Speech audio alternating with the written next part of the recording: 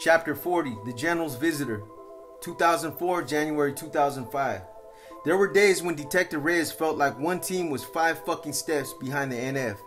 Lacking resources for a wiretap, the team agreed the only way to find out who these guys, Baby Joker, BJ, and Tigre answered to was to tail them. The problem was none of the one team members had ever done out of county rolling surveillance. They started with the tracking device under BJ's vehicle. Very quickly, they discovered that because he lived in remote, hilly country, his signal was almost impossible to pick up. They never knew when he left home until it was too late. Then they tried to track Tigre. From working informants, now they had a name for him. Antonio Benigo Rubalcaba III, also known as Tony the Tiger. He was no kid. If anything, he looked like a veteran of many wars. Tigre stood out in the crowd, his face angular, planed, as if sculpted with a wide chisel.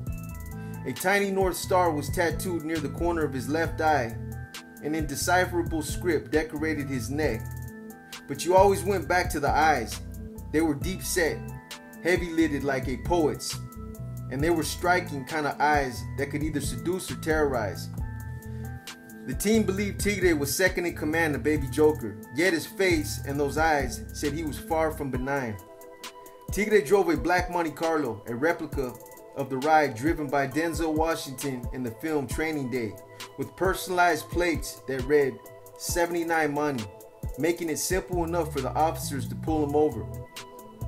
He had some pissy little warrant, and it was enough to hold him for a minute. While he was detained, the cops crawled under the Monte and placed a magnetized tracker on the underside of the chassis. They sent Tigre on his way. Unlike BJ, he lived in town, so his signals would be easier to trace. The tracker worked beautifully until he found it.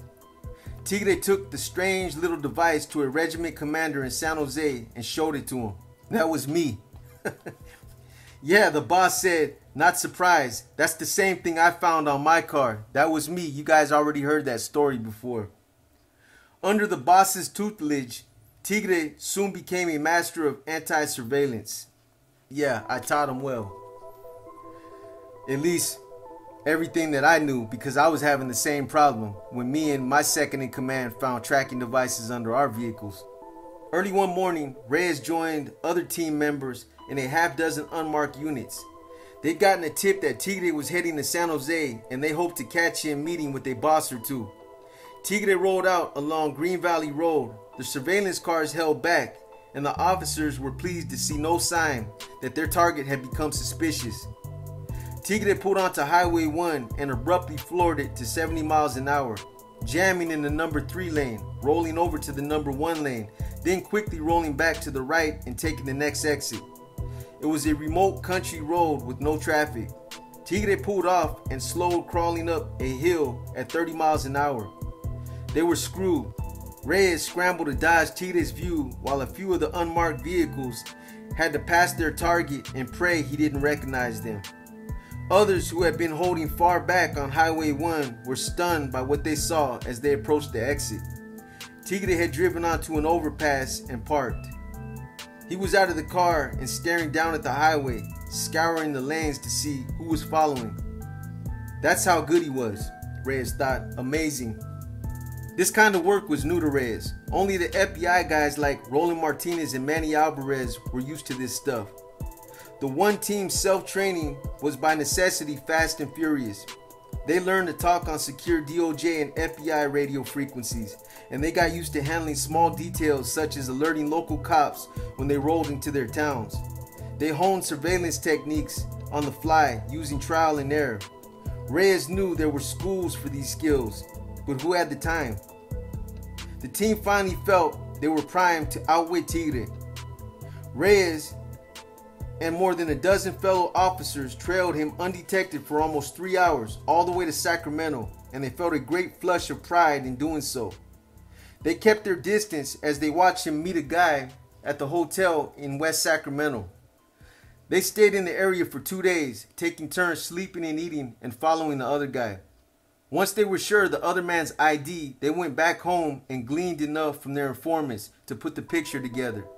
It was unbelievable. But the Watsonville Regiment was making so much money that BJ had been put in charge of Sacramento too. The guy Tigre met was one of the Sacs Regiment's liaisons. At one point, the cops pulled Tigre over just to see what was what.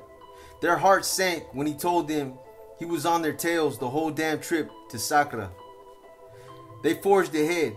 The trail led them to a tattoo shop in Hollister that BJ ran as an NF front. They added more names to their files. Danger from Watsonville, Weasel from Castroville, Bros and Carnales from San Jose. The familia that rose from Black Widow's ashes was rapidly expanding. The one officers were created with their meager resources. Vowing not to repeat the mistakes of Black Widow, the team members shared intelligence with police in nearby communities, and the locals responded in kind. They recruited all the informants they could. The one war room now included the beginnings of a family tree.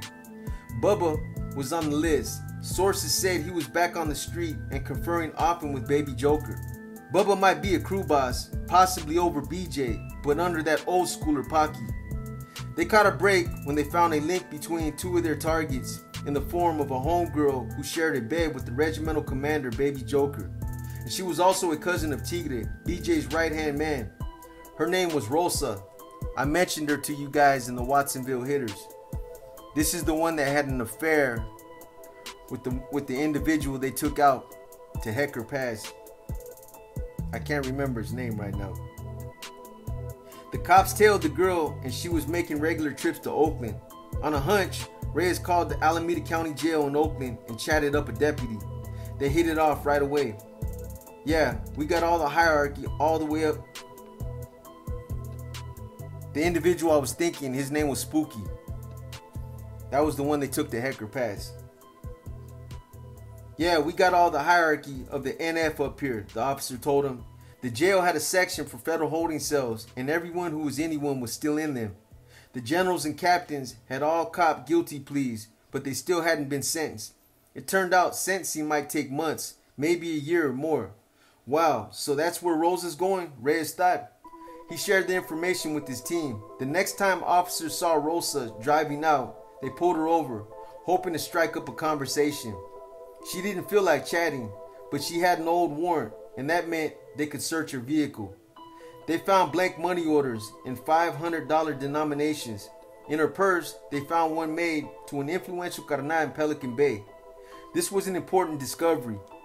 The find meant Pelican Bay might still be serving as headquarters for the NF, though the gang's entire top brass was housed in Oakland. They found a prison kite addressed to BJ, complaining that he was ignoring messages from Tibbs, one of the three generals in Alameda County Jail. This piqued the one officer's interest. Was Rosa connected to both Oakland and Pelican Bay? The most fascinating find, though, was her digital camera.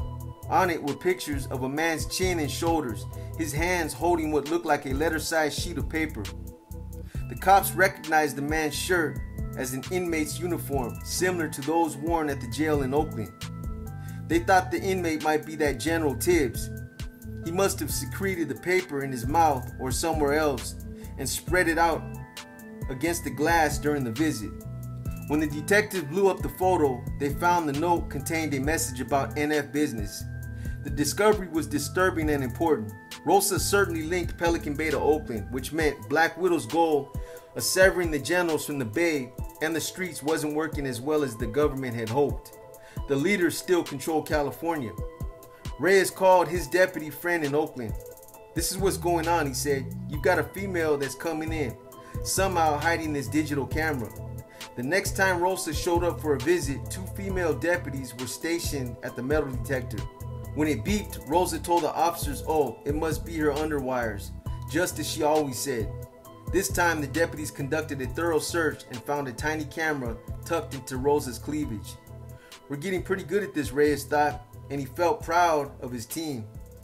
Soon he was in the Oakland jail, peering down at the visiting area from the tier above. He watched while a couple of females took seats, picked up telephone handsets, and greeted two generals. With Rosa banned from the jail, Reyes had taken to follow two other women who had made the trek to North Oakland. Carol, known to the homeboys as Old Girl, came from Castroville and was visiting Pinky Hernandez, one of the gang's three generals. Carol had apparently become Miss Pinky. The second visitor was a girl from Salinas named Crystal. She visited the general called Tibbs. Crystal was pretty in a bouncy way and quick to smile. She must have been all of 18 or 19, and she looked like a baby next to the wizened old Tibbs. Hell, she looked like a baby compared to Reyes, who was barely in his 30s. From the tier above, Reyes couldn't make out their words, but it was easy to see that Tibbs was upset. The man gestured angrily and yelled into the phone. It made Reyes crazy that he couldn't listen in. Unlike Pelican Bay, the jail had no capability to record or let cops eavesdrop on the inmates during visits. Reyes and his colleagues had to monitor the visiting logs, follow the women afterward, or watch and hope they could decipher the general's hand signs. And so he was watching. He wondered about Crystal's role. Was she Tibbs' daughter? His sister? Old girl, the name Carol, on the other hand, clearly seemed to be some kind of boss, practically one of the guys. On one occasion, Reyes had followed her out and watched from two blocks away. After visiting Pinky, she met with a couple of Norteño men under a bridge, and although they were big guys, old girl pushed a finger into their chest as if she were giving the orders. They handed her envelopes. Interesting, Reyes told himself. He figured the envelopes contained taxes from the streets, and now he realized those taxes weren't just channeled to NF Banks in Pelican Bay by Rosa. He decided they were also flowing to Oakland boys through Old Girl. Rather than crushing the NF's base of operations, Black Widow had inadvertently created two sets of headquarters. It was like watching these mutant cells divide on TV science shows. As he peered down the tier at Tibbs and Crystal, Reyes tried to decipher the gestures, but couldn't figure out what was wrong. Crystal's visits with Tibbs had started out friendly, then warmed, and now, for unknown reasons, the general was unhappy and didn't hold back in venting his anger to his young visitor. Tibbs and his four remaining colleagues had yet to be sentenced. At the last minute, the hearing for the final five was postponed because some lawyer figured out that the generals and captains couldn't be turned over to the feds unless Governor Schwarzenegger signed clemency orders dropping their California life sentences. Apparently, no one in Mueller's office had thought of this. A few district attorneys found out about the possible clemency and were not happy about losing their hard-won convictions against career criminals like Tibbs, Pinky, and Corny. The DA sent orders to the governor protesting any clemency on the grounds that you never knew when the feds might cut some weird deal and set these guys loose. Stranger things had happened. It was crazy. Suddenly, everything Mueller and the FBI had toiled over the years was now in jeopardy. If the governor refused to grant clemency, the federal sentences would be mute, and the generals would have to return to Pelican Bay. On the other hand, the California DAs had good cause not to trust the Fed system. They dug their heels in. Schwarzenegger spent months pondering this weighty decision while the state's lawyers scrambled to find a compromise. For the generals, the delay meant more time to reestablish their hold on California. There were rumblings that street regiments had turned their allegiance to several up and comers in Pelican Bay, including that loose cannon Matt Rocha from Salinas. The men in Oakland, though, were still the generals, and they felt the streets needed to be reminded of this. Tibbs joined in this effort while he waited for the governor's decision, and he put his new bride to work. Her husband wasn't with her for the event, and of course, the child wasn't his anyway. He was born before she met him, and besides, Tibbs had always told her she should go with other guys. He understood she had needs that a prisoner doing life just couldn't satisfy. He was a kind man in that way. Tibbs had just celebrated his birthday in the Oakland jail. He was 57. Crystal, who had barely turned 20, had not been there with them. She was trying to focus more on her son and frankly was a bit worn out from the constant errands her husband asked of her. Marriage was supposed to be about love, not just delivering messages and money to homeboys and generals. Not that she was complaining.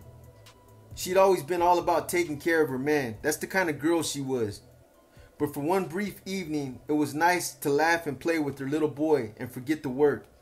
Her baby's daddy was coming home from prison in a week. She imagined them together again, becoming a family, a real family, and her hopes for herself and her son grew. The relationship with Tibbs was a courtship through letters. Her friend Bubba had introduced them and encouraged her to write. Tibbs was more than twice her age, but Crystal, who was 19 when she met him, liked the man and visited regularly. Tibbs kept his still black hair a bit longer than some of the other generals, which made him look like he was less of a gangster and more like a friendly uncle. His charming attributes included a huge smile and laughter that came easily. Their relationship quickly turned to a romance conducted through a half inch of glass. Her pastor had tried his best to talk her out of it, but Crystal was determined to be with Tibbs. She announced the marriage to friends and family. She changed her last name to his on her driver's license. It upset her father and her pastor, but Crystal was happy and perhaps a bit in love. And she needed the money. She told her family that Tibbs could bring them all financial security, that she and her baby would at last be taken care of. Yet for the past few weeks, she'd been on edge. Some homegirl kept calling her and leaving nasty messages. Another girl was on her case because Crystal used to date Bubba. Even her friend, old girl, was jealous lately because Crystal had dated her current love interest. People just kept on hating. The Chuck E. Cheese's dinner wound down and responsibility crept in. It was turning dark when she took a call. It was her old friend Bubba. Watch my son real quick, she asked her kid sister. She gave her mom and sister a ride home, kissed her sweet baby boy goodnight, and promised she'd be right back. When she hadn't returned after a few hours, her mother called her cell. Crystal answered with Mexican music playing in the background, which her mother thought was a little odd. That wasn't Crystal's thing. Crystal told her mom she'd be home soon and not to worry. She had to go to school the next day and wouldn't stay out late.